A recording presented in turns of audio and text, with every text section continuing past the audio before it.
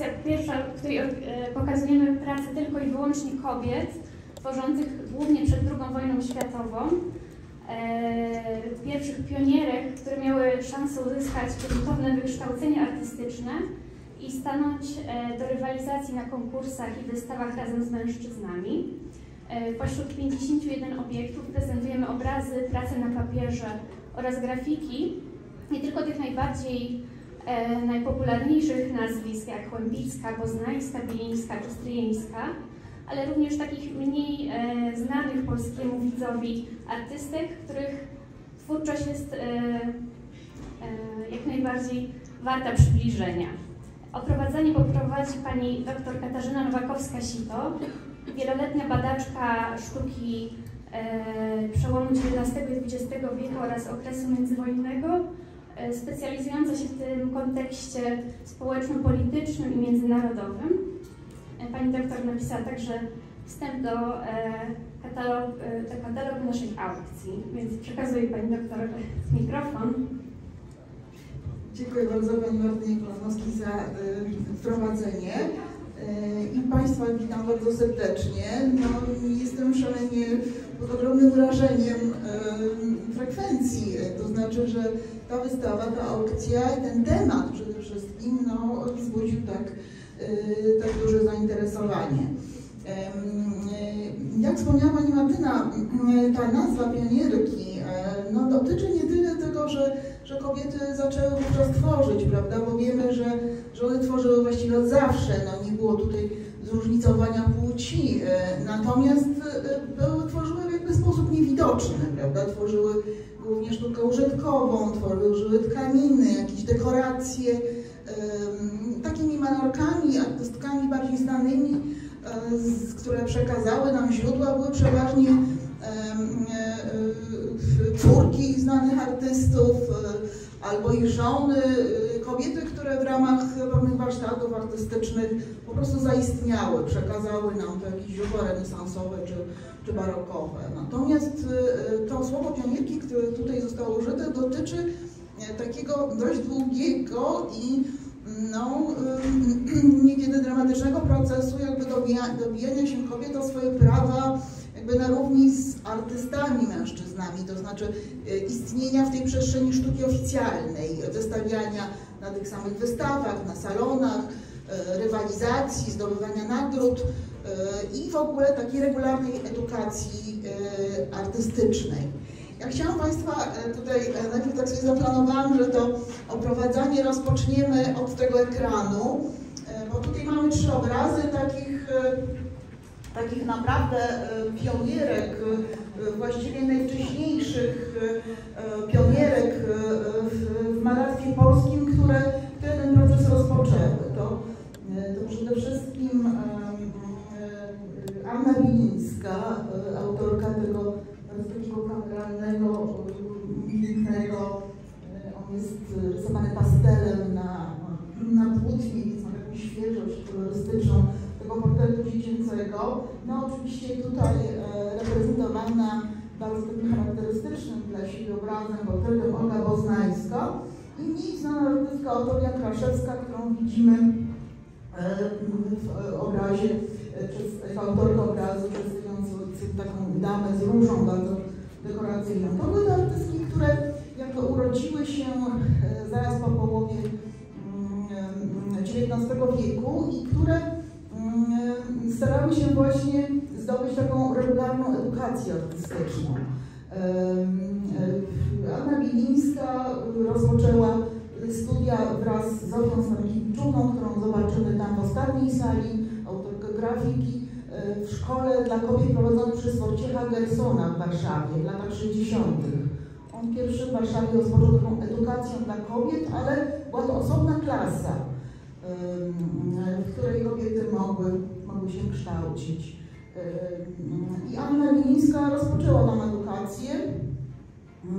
Z kolei Olga Poznańska, która pochodziła z Krakowa, też taką prywatną sytuacje podejmowała, y, po czym właściwie następował taki etap, w którym należało starać się tę edukację pogłębiać, jeżeli te kobiety się wykazały dużymi talentami, a taka była sytuacja obu, obu pań. Y, więc najczęściej udało nam się za granicę, gdzie w tych ośrodkach, które, w których były słynne akademie, jak Monachium, czy Paryż, Wiedeń, y, no można było dalej pogłębiać swoją wiedzę. Oczywiście to nadal była sytuacja, że to były specjalne klasy, specjalne kursy dla kobiet przy tych akademiach prowadzone. E, dopiero e, w latach 90. E, i to właściwie paradoksalnie najpierw w Akademii Petersburskiej, zanim stało się to w tych akademiach zachodnioeuropejskich, w 1993 roku dopuszczono kobiety na normalny kurs razem z mężczyznami. Nieco później, to się stało w Paryżu, dwa lata później. No i oczywiście z tym wiązał się etap, prawda, konkursów, zdobywania takiej regularnej edukacji. Dlaczego to było tak ważne? No proszę sobie wyobrazić tą sztukę końca XIX wieku, gdzie w hierarchii akademickiej najbardziej cenione było, były takie wielopostaciowe sceny, figuralne, malarstwo postaci, malarstwo aktu, malarstwo konia, malarstwo, które wymagało modela. No więc to wymagało profesjonalnej, żmudnej edukacji, wielu godzin, szkiców, studiów. Często dochodziło do tego, po prostu ten model był nagi, więc tutaj wchodziły w grę względy obyczajowe. Bardzo długo w Akademii Sztuk Pięknych w Krakowie nie było nagiego żeńskiego modela, co nawet stanowiło pewną przeszkodę dla edukacji mężczyzn, bo uczniowie Matejki, no wiemy, że na przykład Wyspiański miał dlatego tak duże problemy z dostaniem się do École de Beaux-Arts w Paryżu, że nie zdał egzaminu z właśnie tego modela mm, nagiego kobiecego, który dopiero po śmierci Matejki e, Fałat wprowadził e, i e, ta sytuacja się zmieniła. No ale dla kobiet to w ogóle było jakby pewien taki wzgląd obyczajowy, pewne ograniczenia, które od razu ustawiał je w hierarchii jako malarki martwych natur, właśnie portretów, pejzaży.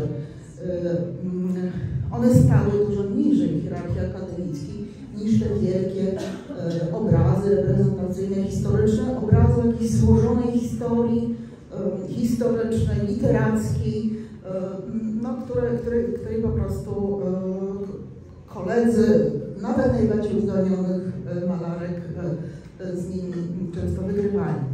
No ale sytuacja się zmieniła. Tutaj taką kobietą, oczywiście już Anna Bilińska za swoje znakomite portrety, swój autoportret paletą zdobywały nagrody na salonach, zdobyła na wystawie światowej w Paryżu w 1989 roku srebrny medal i one już jakby zaczynały wkraczać bardzo silnie do, do obszaru sztuki, zaczynały zdobywać te laury profesjonalne. Olga Poznańska jest artystką, która troszeczkę trafiła na lepszy, powiedziałabym, lepszy czas, prawda? bo zmieniły się, zmieniły się kryteria, zmienił się rodzaj sztuki. Odchodził gdzieś ta historia akademizm i rodziły się te wszystkie nowe kierunki, symbolizm, malarstwo nastroju, zaczęła być ceniona indywidualność, wyraz, klimat i malarstwo, które właściwie wyraźnie no, przeszło przez to zetknięcie ze sztuką impresjonizmu i wiele mu zawdzięcza swojej jakby przetwarza tą technikę na, na, na sztukę nastroju, na taką ściszoną, symbolistyczną sztukę wyrazu. To malarstwo po prostu studiuje psychologicznie modela, ale jednocześnie czyni z portretu coś więcej niż tylko pracę imitacyjną, która przedstawia modela, który przedstawia konkretną postać. Ona po prostu tworzy znakomity obraz. Gdybyśmy tutaj mogli się do czegoś odwołać, to tak jak karpiści mówili, obraz jest świetnie rozstrzygnięty po malarsku. Tutaj często nas już nie interesuje model, nie pytamy się po pierwsze, kto to jest, ale widzimy mm, znakomitą tę płótno, czy, czy tak jak tutaj malarstwo na tekturze, to była też ulubiona technika. I, I proszę spojrzeć, jak w tej bardzo wąskiej gamie barwnej ona w pewnych momentach, wprowadzając dosłowne przebłyski koloru, fragmenty koloru, jak doskonale oddaje, buduje jakby to, ten kadr. Także tutaj widzimy ten pewien proces. Otolia Kraszewska to jest artystka związana ze środowiskiem monachijskim. Malarka bardzo takich dekoracyjnych obrazów, ilustratorka, też z tej pierwszej, z tej pierwszej generacji.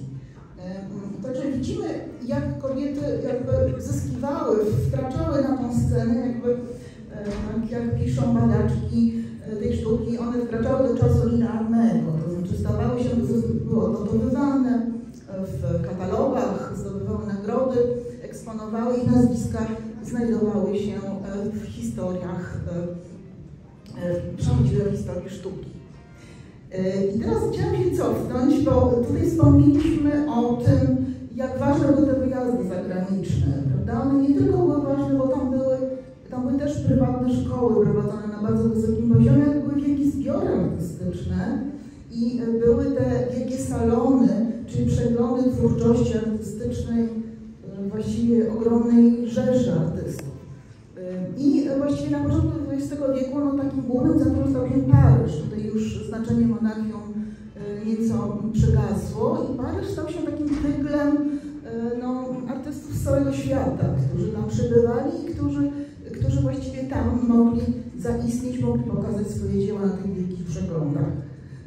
I tutaj cofając się do wejścia mamy dwie artystki bardzo ciekawe i e, znane tej następnej generacji. To znaczy nieco młodsze już od naszych pionierek, ale wciąż no jakby mm, walczące o swoją pozycję. E, no, artystka w tej chwili oczywiście doskonale znana, Tamara Łębicka i równie, mm, czy może nawet za swojego życia bardziej ceniona na scenie paryskiej Mela Mutter, która no, była dość późno przypomniana wystawą dużą muzeum do Warszawy w latach 90. I, ale o której też długo jakby na tutaj polskim, polskiej historii sztuki nie słyszeliśmy. One właśnie zaistniały na scenie paryskiej artystycznej. Mela Mutter przyjechała tam wcześniej, obie były warszawiankami. Co do Tamary są pewne wątpliwości, ale Mela, albo chodziły obie z rodziny zakorzenionej w Warszawie. Mela urodziła się w Warszawie i początkowo uczyła się tutaj w Szkole Sztuk Pięknych, a później wyjechała do Paryża w 1905 roku. I tam no, stała się tak jakby trochę jak poznańska w gruncie rzeczy największym takim jakby jej kariery tematem były portrety. Ona była znakomitą portrecistką, malującą w zupełnie już nowym stylu, taką wyrazistą kolorystyką, mocną kreską, bardzo swobodnie. No tutaj jej, jej takie mistrzostwo techniczne na przykład widać w tej akwareli, tej matce z dzieckiem, prawda? To jest świeżo, lekko malowane, ale także rysunki. Ten akt taki bardzo intymny, przedstawiający chyba modelkę może w pracowni, która, która grzeje się przy jakimś piecyku podczas pozowania. I ona się bardzo szybko stała taką postacią ważną w świecie artystycznym. Portretowała wielu słynnych pisarzy, intelektualistów, właściwie taką portrecistką elity, nie tylko francuskiej, ale różnych twórców, artystów czy, czy intelektualistów, którzy przebywali wtedy w Paryżu. No, na przykład malowała Diego Rivera, różnych artystów, prawda, wtedy członków tej kolonii paryskiej. I też przyjaźniła się z wieloma pisarzami, z Raymontem, z Staffem, ale także z Rainerem Marią Rilke, który słynne listy do pani M właśnie były skierowane do, do Mary Mutter. Ona także była żoną Michała Muttermilcha, który był krytykiem ale także działaczem socjalistycznym. I w tym środowisku poznała Raymonda Lefebvre'a, słynnego takiego socjalistę francuskiego, z którym miała romans, z którym się przyjaźniła.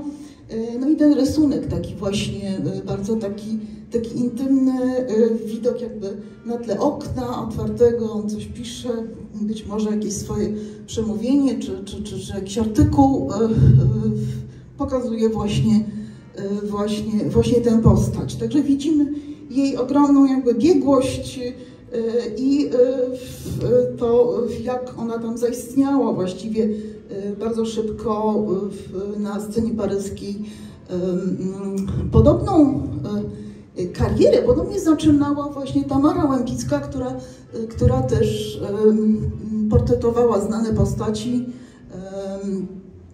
takiego świata arystokratycznego, także ze świata tej białej arystokracji rosyjskiej, która wtedy znalazła się we Francji na emigracji.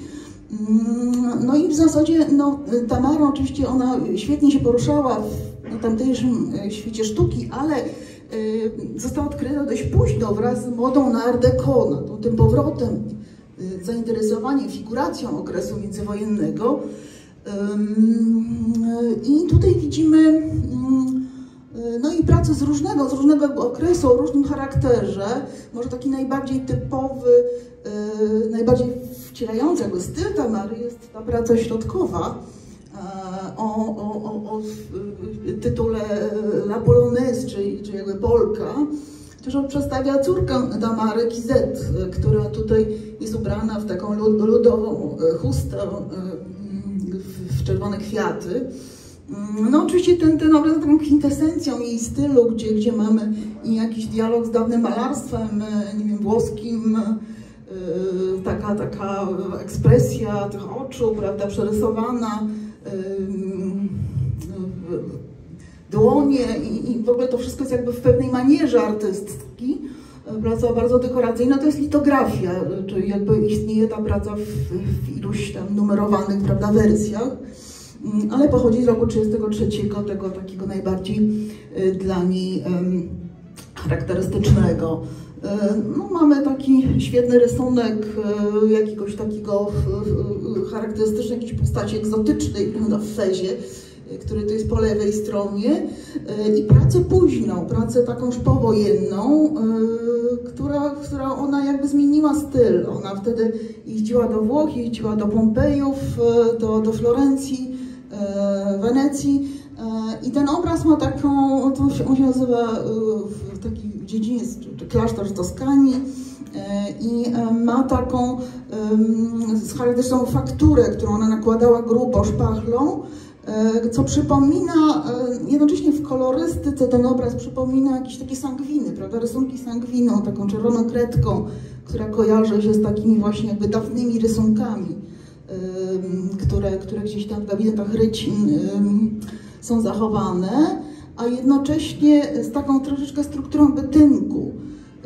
co, co jakby oddaje kolorystykę takiego włoskiego miasta, taką trochę ceglasto-żółtą kolorystykę fasad i też często tą grubą strukturę jakby tam raz drapywała, nadawała jej jakąś taką fakturę jakby troszeczkę pod wpływem, e, pod wpływem tych fresków pompejańskich. Także to jest taki, taki bardzo ciekawy okres, no jakby zupełnie różny od jej e, twórczości najbardziej e, typowej, mm, ale, mm, ale także niezwykle frapujący. I pozostając jakby w tym kręgu Paryża międzywojennego i początku wieku, chciałam Państwa tutaj zaprosić wzdłuż tej wzdłuż tej ściany lewej, e, gdzie zobaczymy e, kilka artystek, może mniej znanych, no ale to są szanse właśnie pewnych odkryć, nazwisk mniej, mniej, mniej znanych artystek, które wówczas też przebywały w Paryżu, wystawiały tam na salonach. To, to jest właśnie Stefania Ordyńska-Morawska, E, no tutaj więcej może e, mówi nazwisko jej pierwszego męża, Ryszarda Ordyjskiego, słynnego e, ze swoich filmów z okresu międzywojennego. artystka, która przybyła do Francji, tam uczyła się też pod kierunkiem Olgi Boznańskiej i często malowała pejzaże, co może nie było tak bardzo typowe dla, dla twórczości kobiet. Olga Słomczyńska urodziła się po prostu we Francji, była córką, córką polskiego emigranta i, i no i myślę, że każda z tych kobiet właściwie wytwarzała swój, swój jakiś własny, indywidualny styl. Tutaj trudno to bardzo jednoznacznie jakby zakwalifikować, ale widać, że one jakby chłonęły te nowe tendencje, chłonęły jakąś swobodę techniczną, malarską, bardzo taką intensywną kolorystykę, którą, z której potrafiły skomponować różne nowoczesne kompozycje. Elizabeth Rążej jest taką troszeczkę odrębną artystką, może być z Polską, z Polską na terenie dzisiejszych Kaszub, ale to był wówczas zabór pruski, ale obracała się w tym międzynarodowym kręgu, w którym też polscy artyści działali i, i obrazy takie jakby inspirowane kubizmem, no tutaj widzimy taką właśnie kompozycję. Ciekawą artystką była Valentin Prax. To jest znowu przykład takiego trochę takich par artystycznych. To też był taki moment wówczas ciekawy, w momencie, kiedy kobiety wkroczyły do tego świata sztuki, no, w akademiach, na wystawach, w pracowniach, zawiązywały się pewne artystyczne pary. I tutaj Valentin Brax, która miała bardzo ciekawą biografię, była właściwie, urodziła się w Argieli i miała takie mm, sycylijsko, sycylijskie korzenie, trochę katalońskie poprzez ojca. Uczyła się początkowo właśnie tam, tam, tam w Algierii, w Magrebie, później przyjechała do Paryża, gdzie poznała szybko, weszła w to środowisko awangardowe, poznała Osipa Zatkina, który, który on przede wszystkim jest tym słynnym prawda, artystą, który, który zaistniał tam w środowisku awangardowym i została jego żoną działali na zasadzie takiej artystycznej pary. No, rzeźbił, ona głównie malowała. E, takie bardzo, bardzo, bardzo osobiste obrazy, bardzo poetyckie. Tam w następnej sali zobaczymy inne jej e, płótno. E, później o, w zasadzie dzięki niej powstało to Muzeum Osipa Zatkina w Paryżu, ponieważ ona podarowała właściwie jego twórczość państwu, państwu francuskiemu. Na parach została bezdzietna, więc, więc dzięki temu zachowana jest ta twórczość. No i, jeszcze, jeszcze kilka artystek też właśnie chciałam zwrócić szczególnie na te mniej znane postaci. Przypominana tyle z licznych publikacjach Irena Hossenberg, która, która tam w Paryżu wystawiała pod, jako Irena, jako Reno. Tak często te nazwiska były jakby troszeczkę zmieniane pod kątem oczywiście publiczności francuskiej, dla której nazwiska no, polsko brzmiące były zupełnie jakby niezrozumiałe. Tutaj Państwo zobaczycie, że ta Olga y, Słomczyńska jest jako Olga Slon, prawda, i, i, różne, różne takie um, ułatwienia. Także Irena Hasenbeck, ona jako bardzo wcześnie emigrowała do Francji, przedtem życzyła styl, taka bardzo swobodna kreska, bardzo dynamiczna, ekspresyjna. To, czym ona zasłynęła, to, to, to jako jedna z pierwszych artystek wybrała się do Nowego Jorku i w 25 chyba czy 6 roku, nie pamiętam, miała taką, takie kilka wystaw właśnie we Francji, gdzie widoki Nowego Jorku, który wtedy był takim troszeczkę jeszcze nieodkrytym rondem, to znaczy oczywiście jakieś widoki wieżowców w pismach się pojawiały, Nowego Jorku nie malował, bo uważał, że on jest malowniczy, malowniczy jest Paryż, malownicza jest prowincja i ona ten nowy temat podjęła, co było bardzo ciekawe. No tutaj widzimy jej taką scenę francuską i co ciekawe, scenę w zasadzie warszawską, z tym, że no, oczywiście związaną już z tym okresem no, tragedii wojennej, prawda? Ten, tak, 45 rok i tu tutaj widzimy jakiś taki chaos, prawda? E, oddanie tej tragedii takiego miasta zupełnie wywróconego jakby do góry nogami, w którym tylko ta postać, prawdopodobnie z fotografii było jej to znane, ta postać e, e, e, Chrystusa sprzed Kościoła Świętego Krzyża, prawda? która wtedy na licznych fotografiach jest taka przewrócona, jest na pierwszym planie.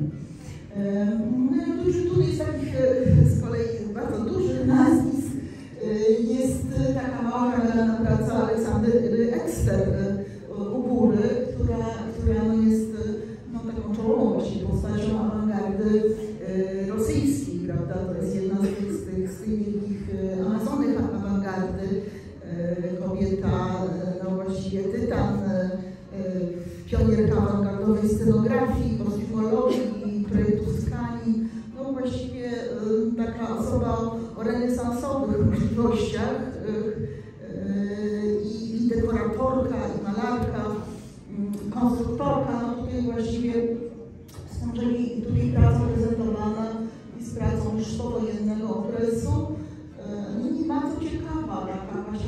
mieszająca jakiś taki dialog między e, jakąś kompozycją abstrakcyjną, a figuracją, takim jakimś kameralnym widokiem e, e, takiego, takiego jakiegoś domku na prowincji.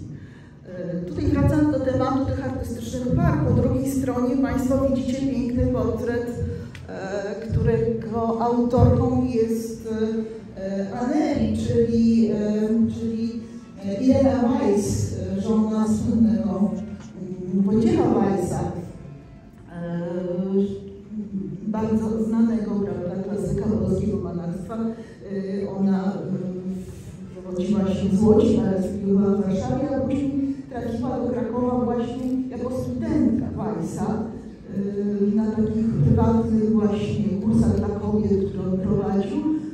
No i związała z nim swoje życie, ale ponieważ była jedną z jego takich studentek, no ona, ona także wystawiała w okresie międzywojennym i później, y, no jakby celowo prawdopodobnie nie chcąc wspierać się tym nazwiskiem męża, które wtedy już było bardzo głośne i był profesorem również w Krakowie, y, używała takiego anagramu swojego imienia Aneli. Także to są, to są jakby pewne artystyczne pary, małżeństwa, ale także były takie związki sióstr, czy rodzeństwa. E, I tutaj w rodzinie Olgi Poznańskiej taką osobą była siostra e, Iza, e, której portret piękny e, Państwo możecie zobaczyć tutaj na ekranie po lewej stronie. Wykonany pastelem przez niemiecką e, niemiecką e, artystkę e, Marię Ribes, e, która prawdopodobnie wykonała ten portret Monachium, gdzie obie siostry przebywały wtedy. E, Olga studiowała, a Iza właśnie była równie utalentowana, ale muzycznie. Ona była pianistką, więc może dlatego e, tutaj ta, taka ręka o długich palcach jest główną bohaterką na pierwszym planie prawda, tego portretu. Wielkie takie oczy, bardzo poważna e, e, poza i mina, jak na 26-letnią wówczas e, pianistkę. No i, Izabela nie była tak, nie miała takiego szczęścia jak Olga, która oczywiście też całe życie poświęciła swojej pracy artystycznej, ale odnosiła liczne sukcesy. Ona miała dość kruchą psychikę i, i często jakby ulegała pewnym załamaniom, był problem z koncertowaniem, z publicznymi. E, I e, właściwie całe życie sióstr obracało się trochę tak pomiędzy sukcesami e, Olgi a problemami Izabeli. One w ciągu jakiś taki e, dosyć trudnym związku pozostawały.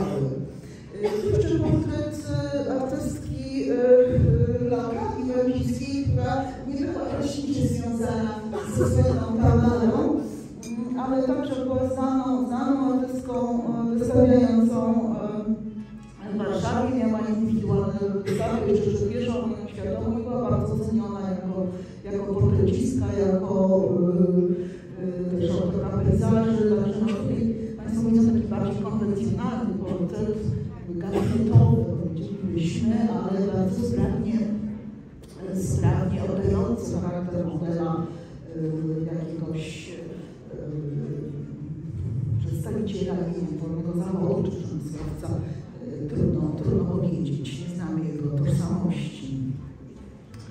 Y, I y, dalszy ciąg w pewien sposób sceny paryskie, ale także jeszcze jedna artystka, która, y, która wiąże się z tymi związkami, związkami rodzinnymi. To jest Michalina Krzyżanowska, y, która z kolei była y, też znowu tak podobnie jak w przypadku Ameryki Weissa, najpierw uczennicą, a później żoną y, Konrada Krzyżanowskiego, czyli też y, bardzo ważnej y, postaci, zwłaszcza do środowiska warszawskiego, bo był jednym y, z założycieli y, Warszawskiej Szkoły Sztuk Pięknych i, i profesorem.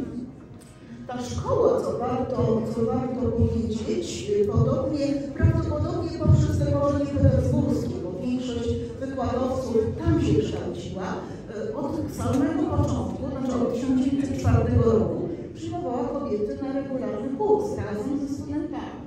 Także można powiedzieć, że to była jedna z takich najbardziej demokratycznych uczelni y, w ówczesnej, w ówczesnej Europie, ponieważ mamy te zdjęcia już od początku szkoły, gdzie koleżanki z kolegami pracują w tych samych, w tych samych pracowniach.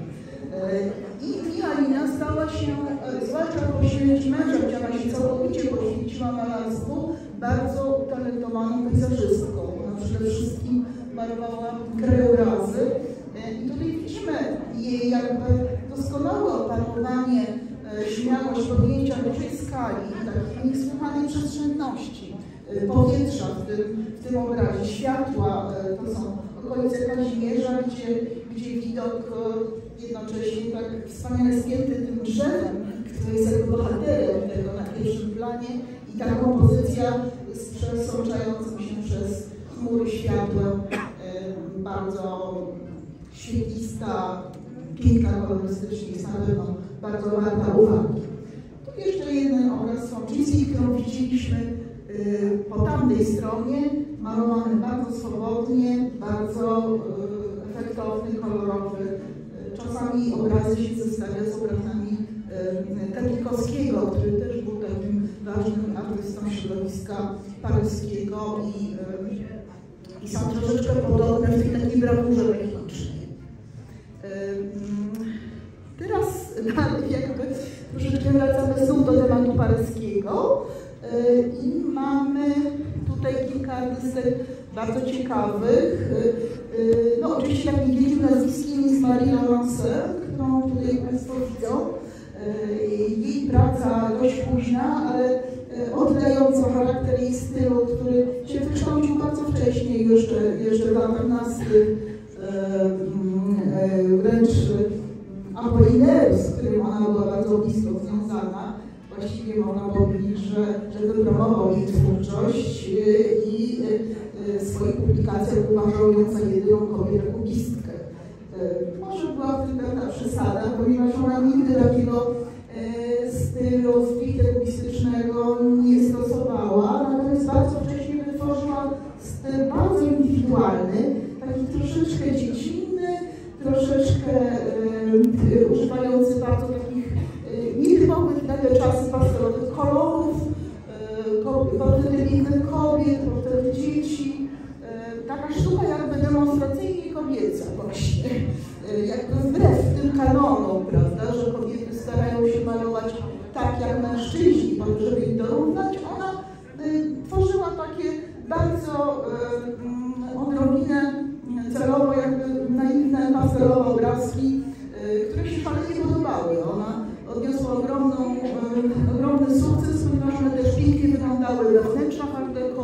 deco, y,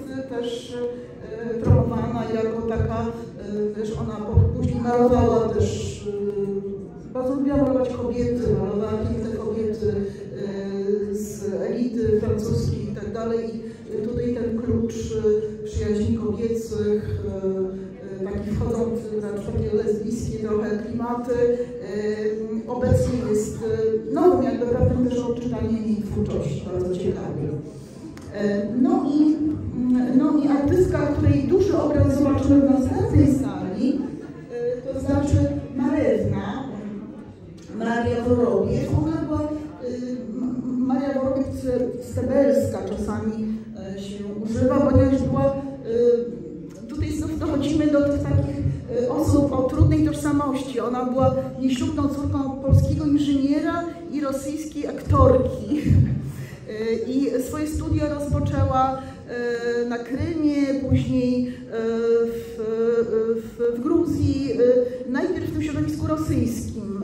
Ona zdobywała swoje szlify, później kształciła się też w słynnej szkole Stroganowa w Moskwie, to, to była znakomita uczelnia artystyczna i w 1912 bodaj roku trafiła do Paryża, gdzie trafiła w krąg tej, tej, tej najciekawszej, takiej pierwszej École de Paris i awangardy, którą później utrwaliła i przekazała w swojej książce z 1972 roku artyści Larysz.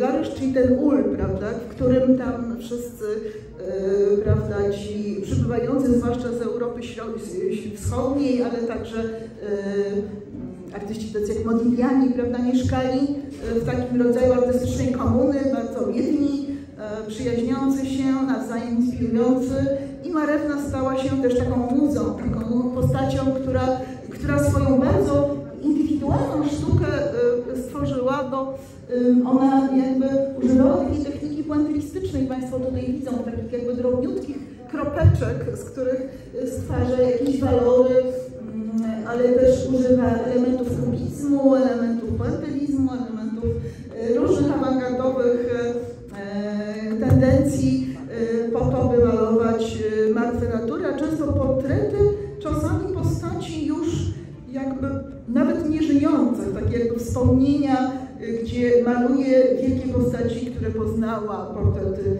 Modiglianiego, portrety Picassa, na wystawie Kissing i Przyjaciele, która była wiele lat temu w Muzeum Narodowym, był taki wielki obraz z kolekcji Geza w Petit Palais w Szwajcarii, gdzie, gdzie był Kissing właśnie w otoczeniu, w otoczeniu właśnie Picasso, Modigliani, wszyscy, wszyscy jakby przyjaciele i żyjący i ci, którzy już odeszli na takim wielkim obrazie Marewny, który, który tam pokazywały. Oczywiście Paryż to był jakby wielki tygiel i on stwarzał, przyciągał poprzez też to, no nie tylko, że były te wielkie salony, wystawy, bujne życie artystyczne, ale też było bardzo wiele możliwości, prawda? Tworzono e, przedstawienia, tworzono wystroje różnych wnętrz e, i często ci artyści nie zajmowali się jedną rzeczą, tylko podejmowali e, działalność w różnych dziedzinach. Na przykład właśnie Alicja Hoferman, ona także działała jako ilustratorka i to widać w tych pracach, one mają w sobie coś z, z takiej ilustracji jakiegoś pisma kobiecego, a trochę w klimacie są właśnie zbliżone do tych obrazów Marie Laurencin w swojej takiej pewnej, pewnym takim prymitywizmie, uproszczeniu, takiej jakby dziecinności, pastelowości, łagodności, po prostu piękne, piękne szkice. Tutaj z kolei może mniej typowy obraz, znaczy może z mniej znanego okresu, powiedziałabym, znanej artystki, która była związana z awangardą międzywojenną, Maria Ewa Łąkiewicz-Ogońska. Jej obraz za 30. On był pokazywany na salonie Instytutu Sztuki w Warszawie w roku bodaj 67 lub 6. To jest taki okres bardzo ciekawy, może jeszcze nie tak bardzo przebadany, powrotu wielu artystów awangardy jakby do figuracji. Ten motyw koni, który gdzieś tam malarstwie Chirico, malarstwie Savinia, artystów włoskich wówczas powraca, skłonił ją do takich scen, które, w których wraca do figuracji, wraca do jakichś widoków miast, i podejmuje temat realizmu, ale takiego, takiej figuracji, która jest troszeczkę takim realizmem magicznym, bo właściwie to nie jest obraz pełni prawda, realistyczny, natomiast wraca do, do pewnych takich no, motywów figuralnych. Może teraz przejdźmy, przejdźmy dalej do tej, do tej drugiej sali, bo nie chcę Państwa też zamęczyć trochę.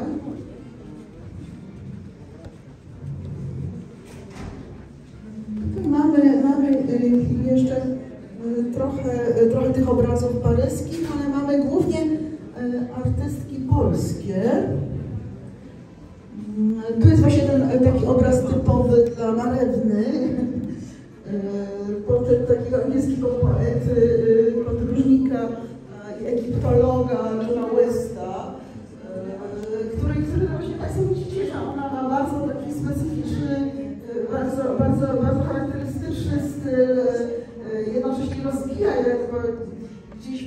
czerpiąc inspirację z kubizmu, e, obraz wobec obrazów pryzmaty, jakby w jakimś kalejdoskopie rozwijanie następnie na prawy koloru, na jakieś takie formy geometryzujące, ale jednocześnie właściwie to jest figuratywne, więc, więc jest to, jest to jakiś taki i własny styl, który, który po prostu tutaj, tutaj,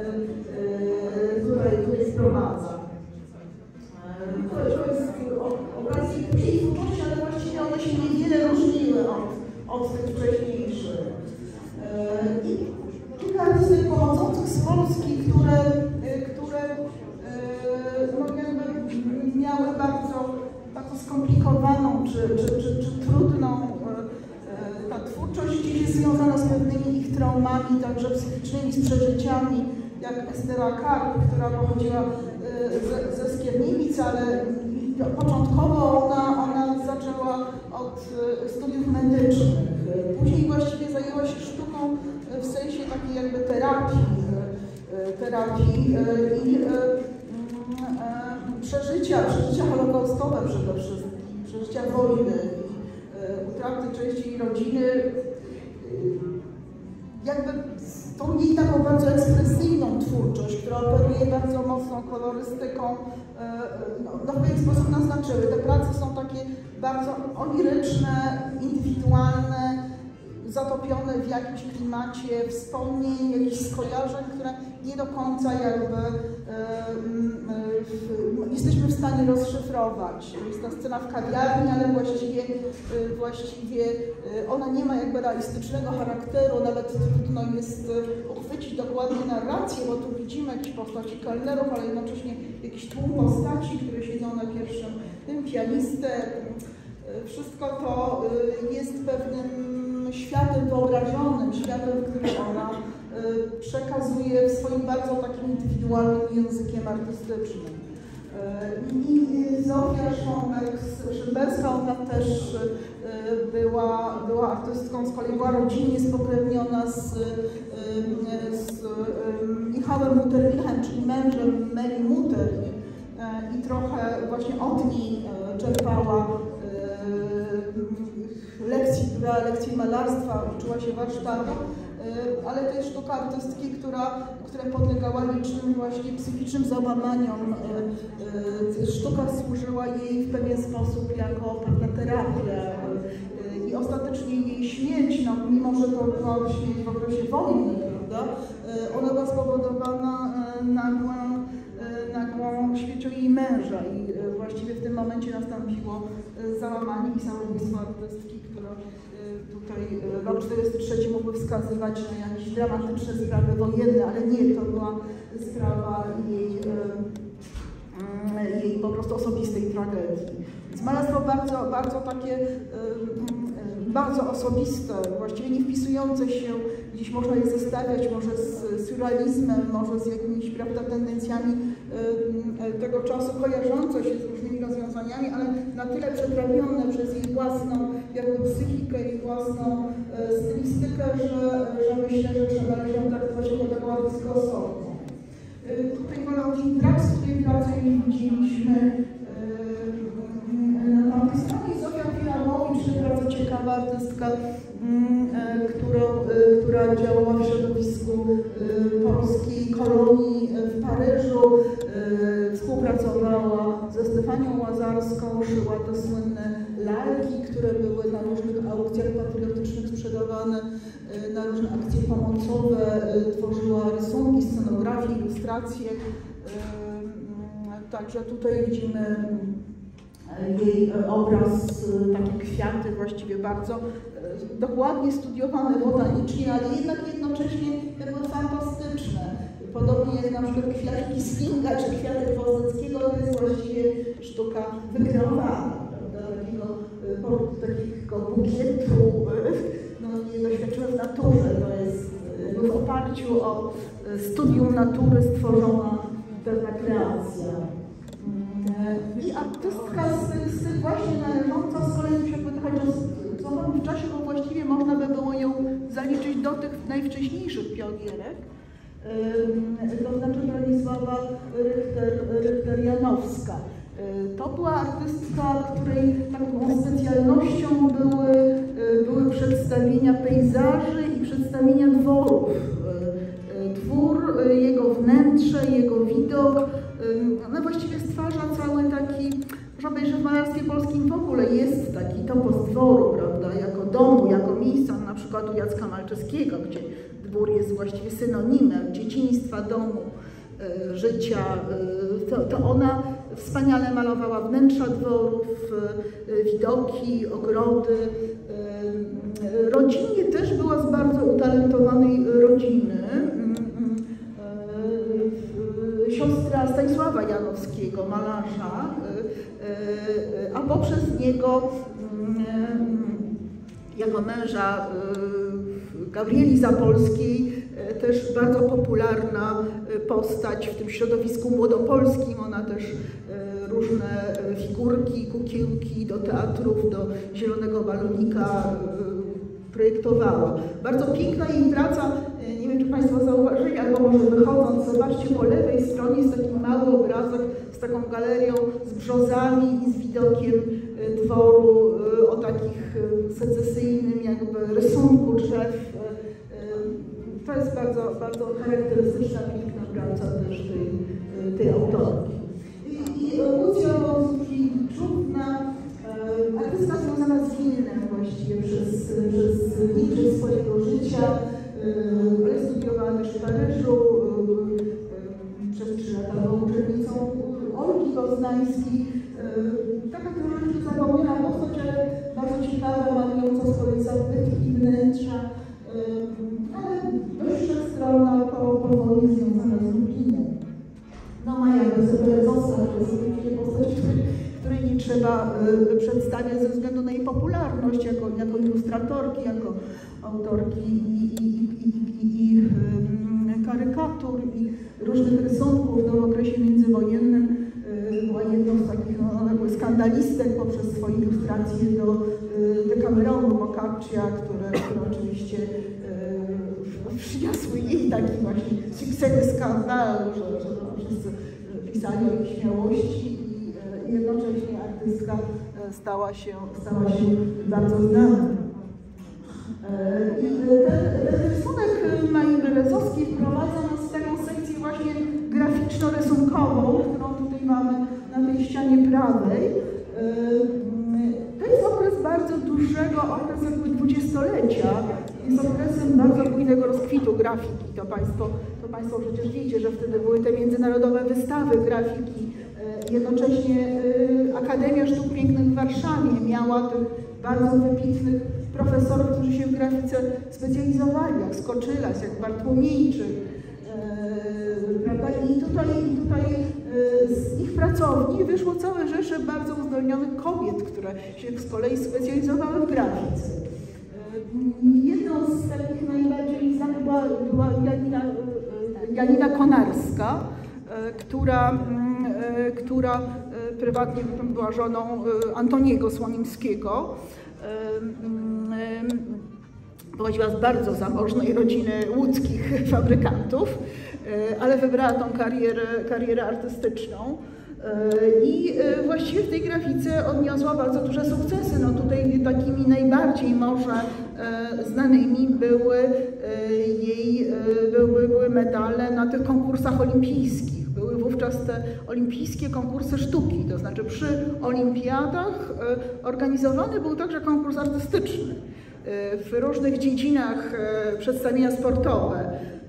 I ona w, w Los Angeles w 1932 roku zdobyła srebrny medal za właśnie takie drzeworyty o tematyce sportowej, stadion, regaty, narciarstwo. Jej specjalnością był drzeworyt barwny lub barwiony, co było taką troszeczkę nowością i czy odróżniało ją od innych grafików ponieważ no, ten drzeworyt klasyczny był jednak czarno-biały, prawda, to była sztuka czerni i bieli, ona wprowadzając kolor, no trochę, wraca, trochę zwracała się w stronę tradycji na przykład takiej japońskiej, gdzie drzeworyt ma kolor, ma e, odbijane też e, albo barwione e, elementy, co niesłychanie wzbogacało jakby tutaj ten, ten jej repertuar środków użytych w grafice. Z kolei ta Janina Giedroć-Wawrzynowicz też wprowadziła pewną innowację do swoich drzeworytów, a mianowicie wprowadziła drzeworyt biały na czarny. Jak Państwo się tutaj przyjrzycie, to jest troszeczkę odwrócona proporcja w stosunku do tradycyjnego drzeworytu, gdzie rysunek odbijany jest, ten, ta odbitka jest czarna, tutaj jakby rysunek postaci jest biały, czy jakby negatywowo. Ob, od, inaczej opracowuje tą deskę drzeworodyczniczą, co było też pewną, pewną, pewną nowością i przyniosło artystce nagrody na różnych graficznych konkursach. Tu jeszcze Leonia Naderman-Janecka, bardzo ciekawa też graficzka z pracowni z kolei Pruszkowskiego. Ona była z kolei rodzinnie związana z Eli Nadermanem, słynnym rzeźbiarzem, który oczywiście zrobił karierę w Paryżu, później w Stanach Zjednoczonych. No i Zofia Stankiewicz, o której już wspominaliśmy, ona była jedną z tych takich naprawdę pierwszych pionierek, które wyjechały właśnie z Bilińską do Paryża. Początkowo odnosiła wielkie sukcesy jako malarka. Ale Zofia Stankiewicz była taką kobietą, która miała właśnie niesłychany temperament też aktywistki, działaczki i ona była jednocześnie była członkinią PPS-u, więc, więc oczywiście angażowała się w działalność tą polityczną, niepodległościową, ale także w działalność walki o prawa kobiet, więc ona działała w różnych organizacjach feministycznych. I z tego powodu, ja przypuszczam, ona w którymś momencie była tak aktywna na tych innych polach jakby działalności, że ona porzuciła malarstwo jako taką technikę trochę jakby wymagającą więcej czasu, wysiłku i zwróciła się po 1907 roku właściwie głównie jest graficzką. Głównie podjęła techniki graficzne, no ale w których też, jak Państwo widzą, no, doszła do, do ogromnej perfekcji. Jej taką specjalnością były widoki, widoki miast, takie cykle graficzne poświęcone, poświęcone różnym miastom. Także ten taki zaułek miejski, ta praca, która do tej pory jest, jest widoczna, jest może bardzo dla mnie charakterystyczna.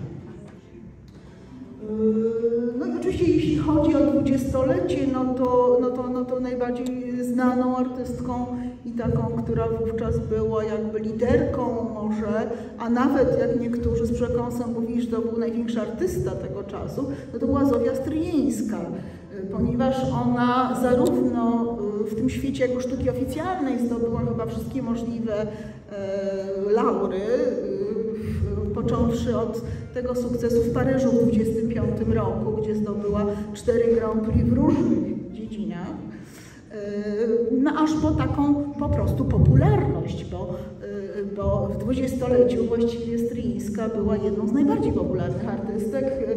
Wszelkie wydawnictwa, ilustrowane teki, autorstwa pocztówki, to były, to były towary rozchwytywane i cieszące się szaloną popularnością.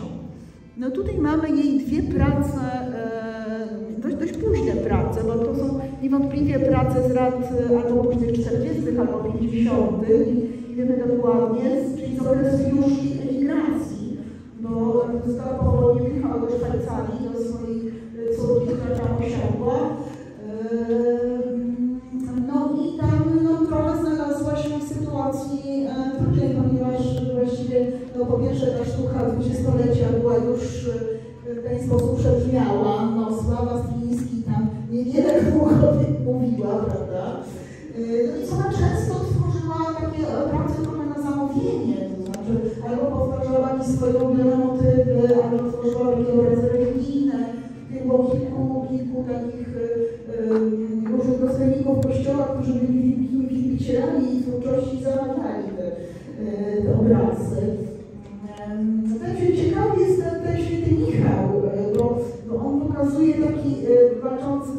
Z szatanem, bo, bo pokazuje takie troszeczkę niekonwencjonalne podejście do tego tematu religijnego. No, oczywiście nie wiemy, jak wyglądał święty Michał, ale, dlaczego on wygląda jakoś tak bardzo słowiańsko i jeszcze jest podobny do jej wyobrażeń, na przykład z tego cyklu Pascha, prawda, Chrystusa, gdzie ma takie ulubione przez styliską rysy, to znaczy jest oczywiście blondynem o błękitnych oczach. Wiemy z dzienników, że, że to ideał, ideał piękna. Niestety obaj synowie nie mieli błękitnych oczu i to było bardzo wielkim przedmiotem zmartwienia artystki. No ale także walczy z tym, z tym, z tym szatanem za pomocą jakichś, jakichś piorunów, prawda? I właściwie no, święty Michał chyba raczej z mieczem był przedstawiany, więc to jest taki bardziej może Zeus, a bardziej może jakiś Trygław czy coś zbliżonego do jej tematyki mitologii słowiańskiej, więc, więc ta postać, no, nawet podejmując tak nobliwe tematy styliska, czasami tak prowokacyjnie musiała zostać sobą i musiała je zinterpretować w sposób sobie tylko właściwy. No ale chciałam Państwu jeszcze zwrócić uwagę,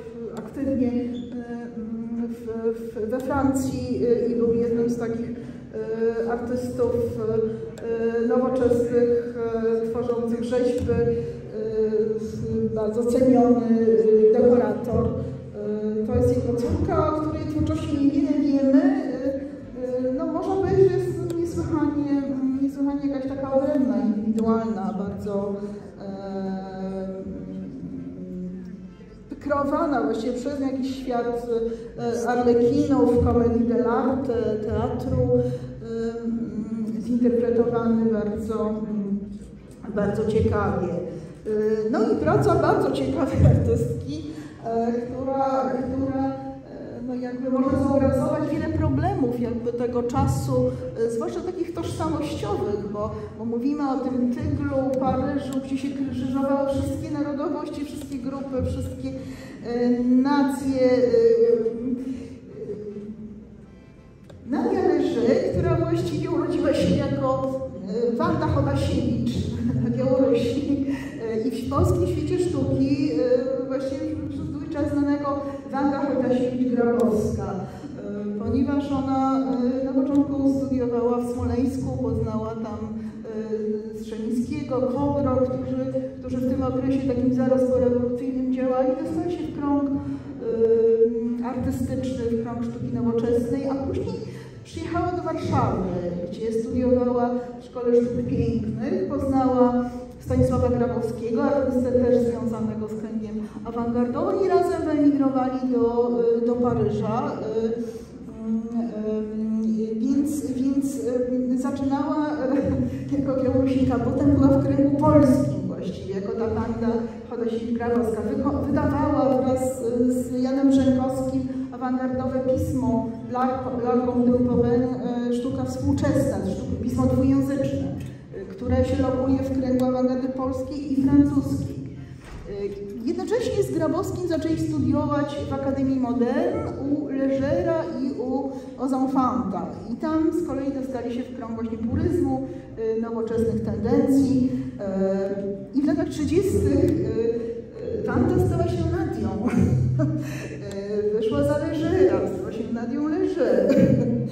Zaczęła, wstąpiła do francuskiej partii komunistycznej nagle odkryła swoje wczesne związki z taką, tą pierwszą awangardą, prawda, zaczyna przypominać swoje związki z awangardą radziecką.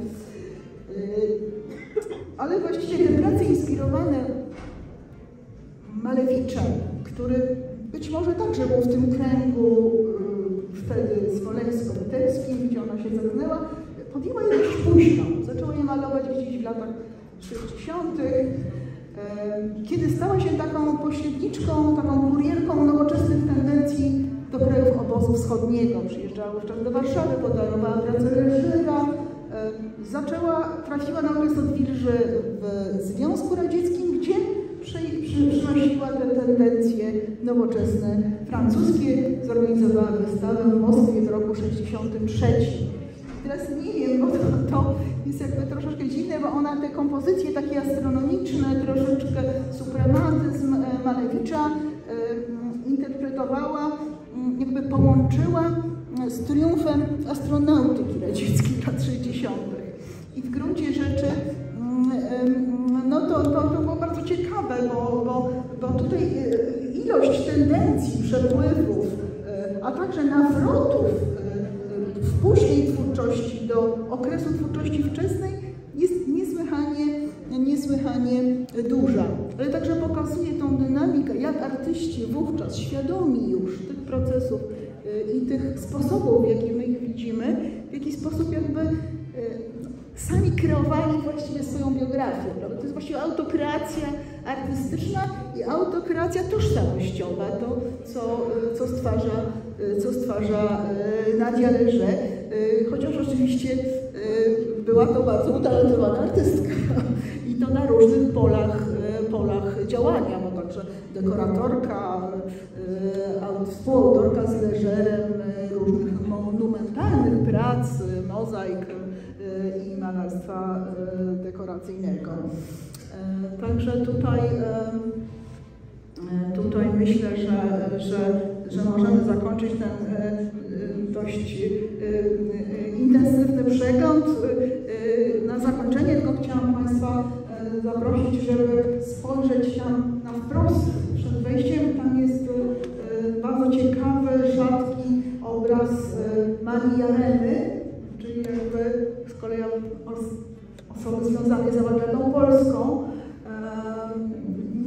dość, dość nietypowy w swoim takim połączeniu szkicu realistycznego, jakiegoś nadmorskiego fragmentu.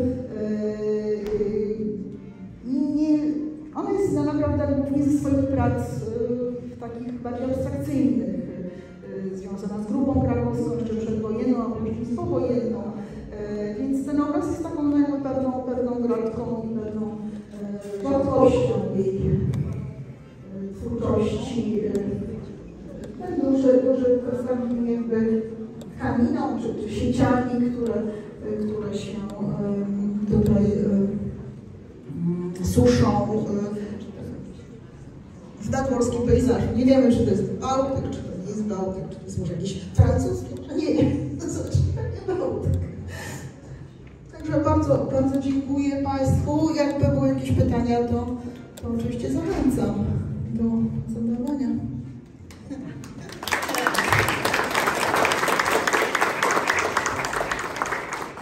Również bardzo dziękujemy Pani doktor Nowakowskiej-Sito za to bardzo ciekawe uprowadzenie pełne anegdotek, e, różnych ciekawych historii oraz zręcznego łączenia wątków między tymi pracami która charakteryzuje bardzo duża różnorodność i stylistyczna i wykonania i technik, i czasu powstania oraz środowisk artystycznych, w których e, żyły e, twórczynie tych prac.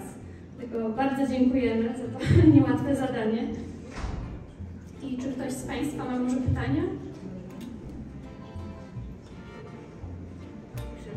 Jednak zamęczyłam. Jeśli nie, to zapraszam jeszcze do indywidualnego obejrzenia na spokojnie wystawy.